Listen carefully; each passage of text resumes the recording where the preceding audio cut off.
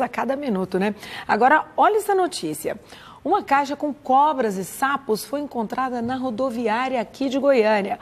Os animais só foram identificados por conta do cheiro forte, né, Danila? Foi isso? Boa tarde para você. Michele, pensa que absurdo, viu? Os funcionários da empresa chegaram a pensar que se tratava de queijo estragado, de queijo podre que estava dentro daquela caixa, por causa do tamanho mau cheiro, do mau cheiro tão forte que saía dali. Só que quando eles abriram, olha aí o momento que eles abriram a caixa, a surpresa, 16 cobras, 15 delas de boias e uma cobra verde e mais 30 sapos dentro dessa caixa. Essa caixa foi encontrada na rodoviária aqui de Goiânia, só que veio lá do Pará. Foi despachada em Belém do Pará e os funcionários só descobriram aqui quando realmente sentiram esse cheiro de podridão. Nessa viagem toda, as sete cobras não aliás, as sete cobras não resistiram e os 30 sapos também não, acabaram morrendo aí durante esse transporte, né? Claro, sufocados aí dentro da caixa. Os funcionários da transportadora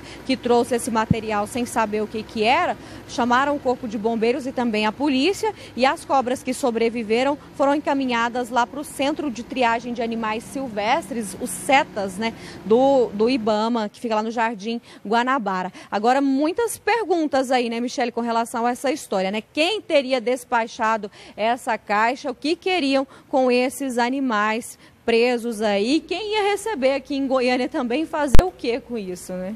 Pois é, a história está muito mal contada. Faltam algumas peças, mas de toda forma, uma história horrorosa fazer isso com os animais, né? Que absurdo. Obrigada pelas informações, Danila.